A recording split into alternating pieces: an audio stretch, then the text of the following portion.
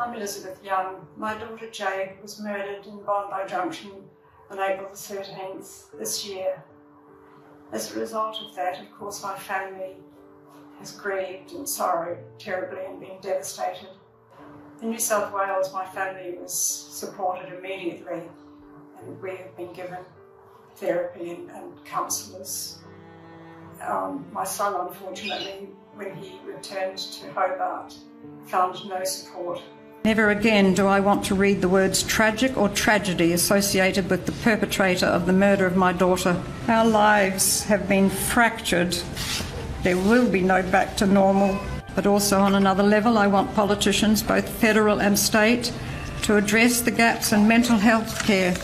As a result of this, I'm becoming an advocate for a national strategy supporting mental health programs throughout Australia so that anybody, no matter what their postcode, will receive exactly the same support.